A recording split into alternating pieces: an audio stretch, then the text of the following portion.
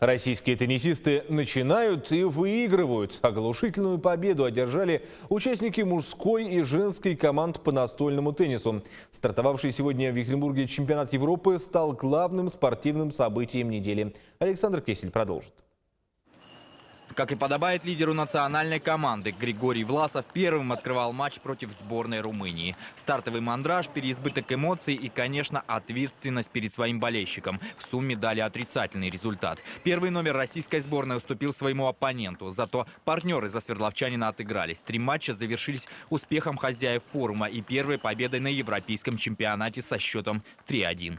Наверное, сказалось все-таки то, что Гриша играет дома, волнение, большое присутствие знакомых на трибунах.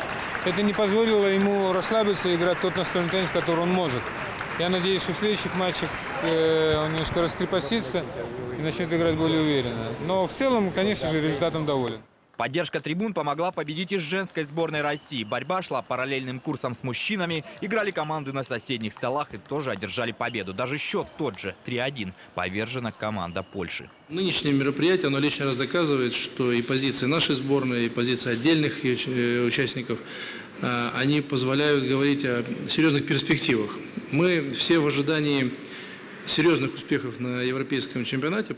В Екатеринбург съехались сильнейшие европейские представители настольного тенниса. Масштабность событию придает и сама площадка, на которой проходит форум «Международный выставочный центр». В подготовке спорт-инвентаря, качество покрытия и даже освещения российский чемпионат уже обошел прошлогодний европейский форум в Португалии. Я хочу благодарить все, весь оргкомитет, кто занимался подготовкой, подготовкой площадки для тренировок, для проведения соревнований. Ну и рассчитываем, и уверены, точнее, что здесь понравится нашим гостям. В восторге от организации болельщики. Их и привозят сюда бесплатно, а каждые полчаса до экспо курируют специальные шаттлы. Да и в самом помещении для них много интересного. В первую очередь на всеобщее обозрение выставлены медали чемпионата. Награды сделаны на заказ и с особым уральским колоритом. На оборотной стороне медали герб Свердловской области.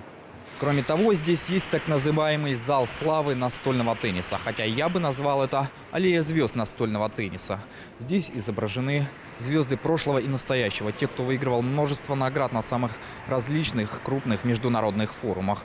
Под картинкой написана краткая биография каждого спортсмена. Вот, например, француз Жан-Филипп Гатьен, обладатель серебряной медали Олимпийских игр 1992 года, а также победитель Кубка мира 1994 года. Сборная Франции сейчас представляет собой серьезную силу. Стоит выделить и представителей Германии. Но российская сборная, причем как мужская, так и женская, с этими командами встретится не раньше 1-4 финала. Уже завтра обе сборные будут бороться, чтобы попасть в эту стадию чемпионата. Мужчины сыграют со Швецией и Австрией. Девушкам будет противостоять команды Люксембурга и Венгрии.